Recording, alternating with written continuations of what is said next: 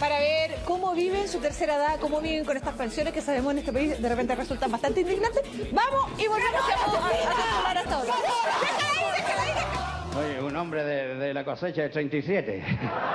Me veo joven porque me conservo en alcohol, pero... Durante décadas hicieron reír a cuanto público los escuchara. Hoy varios se reinventaron y continúan en lo mismo, pero como lo han hecho estos humoristas íconos de los años 70 y 80 para seguir activos, ¿cómo viven día a día? Daniel Vilches, el académico de la lengua, a su edad continúa sacando carcajadas. Oye, hiciste la aseo como te ordené. Bien hecho la aseo. Cambiaste la sala. La sala arriba la puse abajo, la abajo la puse arriba.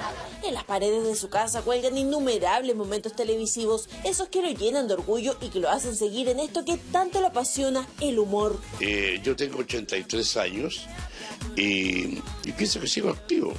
Porque además que yo en este momento ando trabajando con los casinos Dream y además que yo tengo una carpa que se llama la carpa el humor, donde van a trabajar conmigo los atletas de la risa y, un montón de, artistas, los iracundos. Bueno, esta es mi vida artística. Yo vivo de, lo que hago de la revista.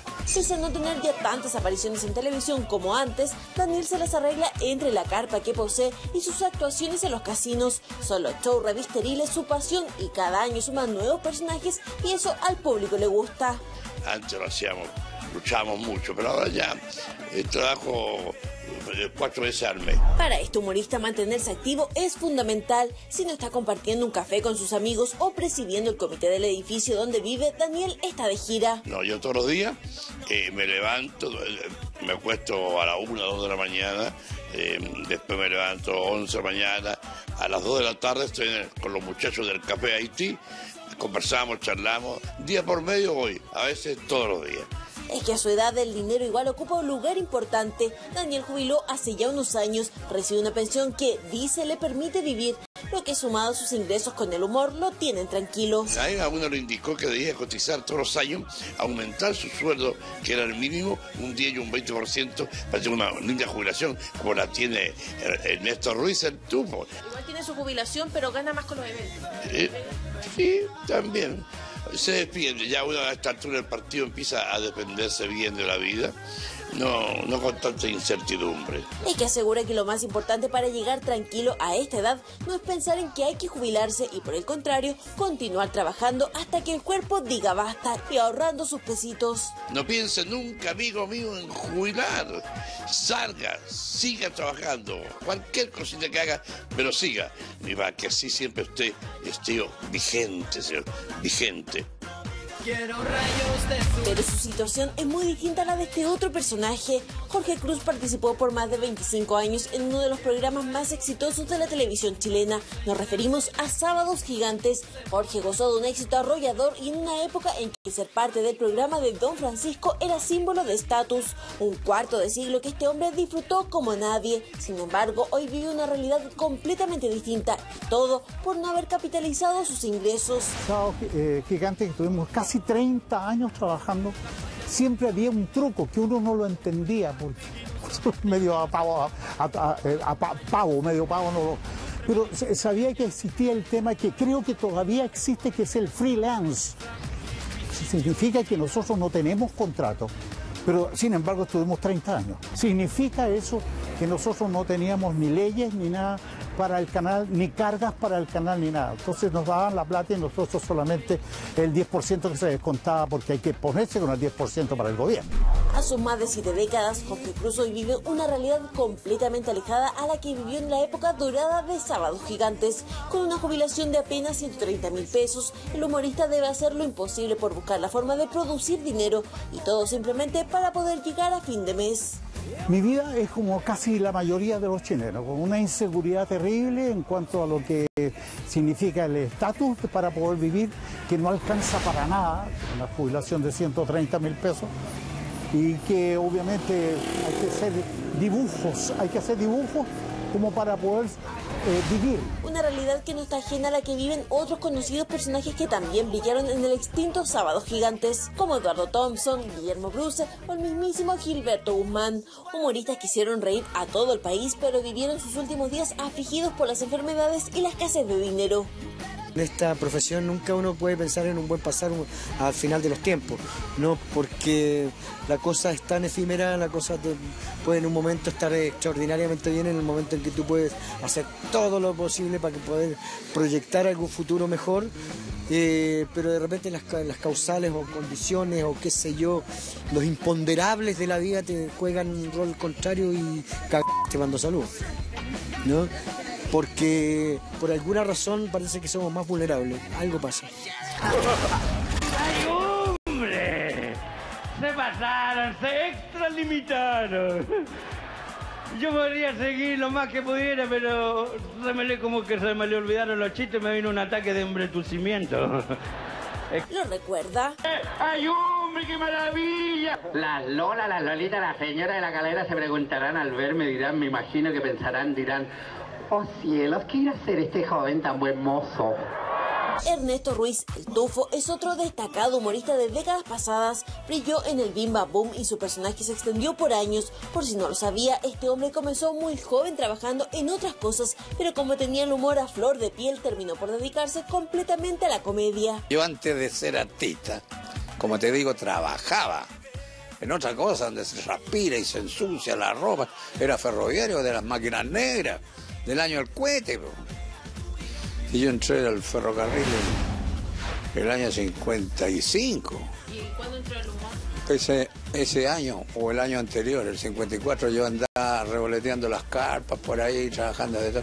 Mi papá, que sufría, una vez me fue a buscar a Melipilla, mi papá, porque yo me había ido con un circo. A mí siempre me gustó lo cómico. Este fue por años uno de los personajes más queridos y recordados. Sin embargo, todo cambió el día en que el mismo Tufo se retiró del humor. Fue una depresión la que lo hundió y la que por un tiempo le borró la sonrisa.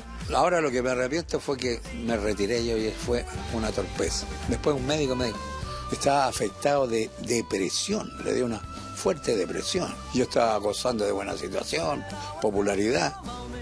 Pucha, imagínate, a lo mejor ganando buena moneda. Fue su padre quien justamente le enseñó una de las cosas más importantes de su vida y que hoy le hacen vivir una realidad completamente distinta a la de otros humoristas.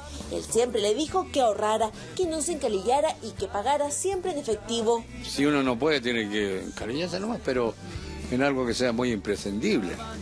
Desde el primer trabajo usted empezó a, a guardar su platita sagradamente. Claro, pregúntale a mi señora, bueno, no estaba. Dinero, hice esto, hice lo otro. Me compré mi casa propia. Y que la pensión que obtuvo este hombre tras jubilarse es mucho mejor a la de varios de sus colegas. Él no la define como una gran riqueza, pero mala tampoco es. Tenía casa en la playa, dos departamentos que arrendaba, tenía esta casa. ¿Y eso ya lo vendió? Claro. Pese a que no tiene grandes necesidades económicas, el tufo extraña su antigua profesión. Aún le ofrecen trabajar, pero acepta uno que otro. Es que este humorista tiene un sueño, volver a la televisión. Me llaman y habitualmente no, no, quiero ir. No necesito tanto la... Es más, pues mi regalón me dice, papá, no trabaje, si necesita algo, hable conmigo. El que se va sin que lo echen, vuelve sin que lo llamen. Y ahora yo quisiera que me llamaran, pues ahora quiero estar ahí. Asegura estar activo y tranquilo porque sus finanzas están ordenadas, pero le falta eso que lo hacía sentir vivo y que por esencia aún conserva. Jorge Chino Navarrete hace unos años también decidió autoexiliarse. Eso sí, lo hizo solo de la televisión, ya que según contó, la pantalla chica entró en un estilo que a él no le calzaba. Su decisión tuvo un alto costo económico. Hoy este hombre tiene 65 años y es otro de los que asegura no tener la tranquilidad de poder vivir de una jubilación. No cuenta con lo que él llama una pensión digna y que recibe cerca de 150 mil pesos mensuales solo por una pensión de exonerados. ¿Cuál es el argumento que a mí se me dio para ganar 170, 150 mil pesos de exonerado? Es que era un, mm, un, un, sueldo simbólico que se iba a dar. O sea, el sismoldismo fue para mí cuando me torturaron, cuando me tuvieron frente al pelotón de fusilero, cuando me echaron de un banco, cuando tuve que estar 10 años, 10 años mascullando mis dolores, eh, mascullando eh, mis estructuras psicológicas disfuncionales. O sea, ¿quién, quién, quién determina estas cosas? El chino Navarreto hoy mira el sistema tristeza, pero con la esperanza de que en algún momento cambie y se transforme en algo que dice sea más justo y sobre todo solidario. Hoy este humorista asume que tendrá que trabajar para vivir hasta el último de sus días. Yo no tengo previsión, yo, no, yo vivo al día. Eh, afortunadamente tengo otra profesión que es la de psicólogo y ahí me doy vuelta. Justamente eso continúa haciendo, mezcla su profesión de psicólogo con su oficio de humorista y en el último tiempo se ha dedicado a dar una serie de charlas y conferencias a empresas, al menos eso lo mantiene vigente. Es el presente de varios humoristas que brillaron entre los años 70 y 80 haciendo reír a cuanta gente tuvieran entre el público. Hoy muchos de ellos se las arreglan para sobrevivir día a día y otros añoran con volver a la televisión. Ahí están eh, algunos de los humoristas que nos hicieron reír por tanto tiempo, durante mucho tiempo, y que claramente tienen un mejor pasar que otros.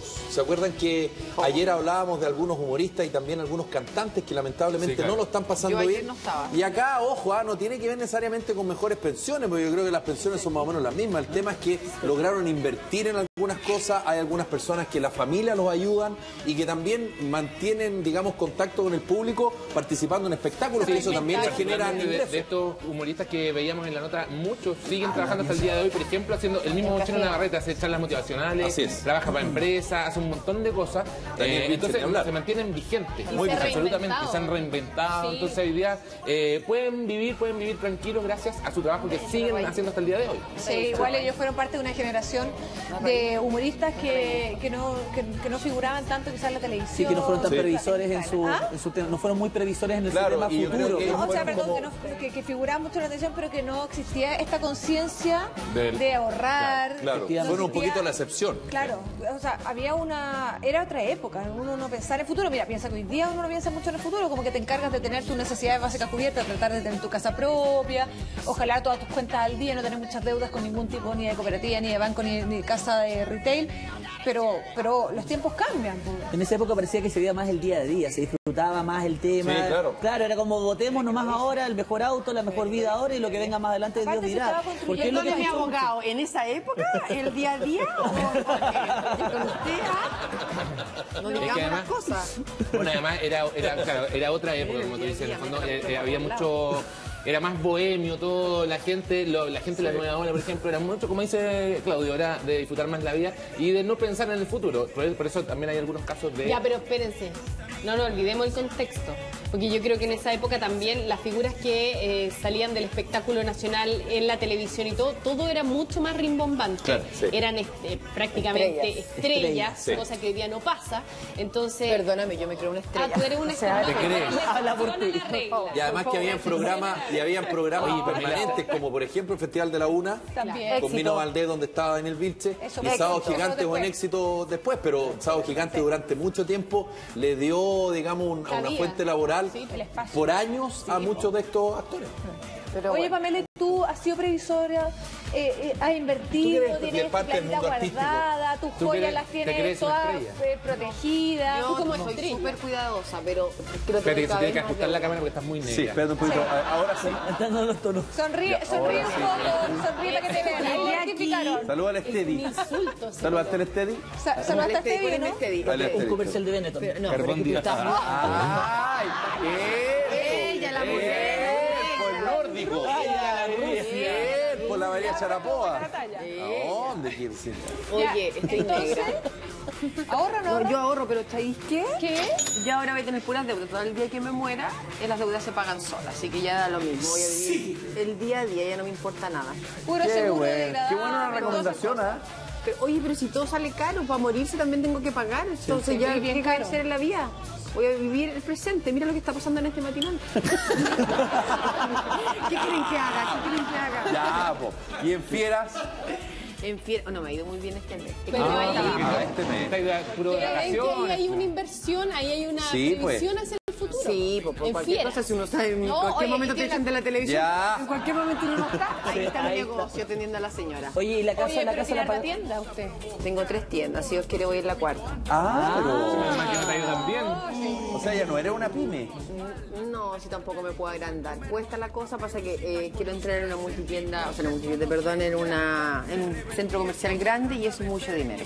Y si no tengo plata, No se puede. no se puede. Bueno, pero tienes un buen anillo ahí que puedes ahí. No estás desubicada, no es mi